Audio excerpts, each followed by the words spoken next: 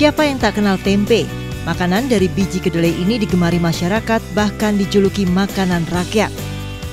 Tempe bahkan kini mendunia. Kemenparekraf akan mendaftarkan tempe sebagai warisan kuliner budaya dunia UNESCO. Namun banyak yang tidak tahu, setiap tanggal 6 Juni diperingati sebagai Hari Tempe Nasional. Untuk mengkampanyekan pembuatan tempe sehat dengan konsep kekinian, Salah satu produsen tempe rumahan di Bali menggelar pelatihan keliling membuat tempe. Yang menarik pelatihan membuat tempe ini diminati warga negara asing. Ya, kita buat um, buat tempe bersama. Coba satu kali. Tempe dibuat dengan berbagai varian seperti tempe keju.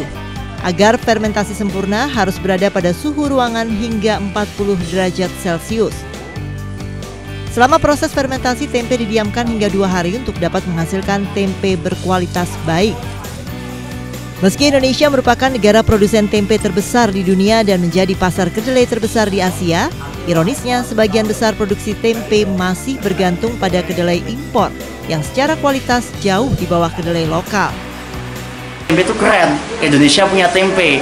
Jadi kalau Italia punya keju, Korea punya kimchi, ya Indonesia punya tempe. Nah kita harus punya rasa bangga nih wah masakan makanan tradisional itu harus dipromosikan lebih lagi, lebih keren lagi supaya orang punya jiwa tempe movement. Hari Tempe Nasional jatuh pada 6 Juni bertepatan dengan hari lahir Presiden pertama Indonesia, Soekarno. Salah satu alasan mengapa Hari Tempe Nasional bertepatan dengan hari lahir Soekarno, karena hampir setiap pidatonya Soekarno sering mengimbau, jangan jadi bangsa tempe. Ini sebagai motivasi agar Indonesia tidak diremehkan bangsa lain.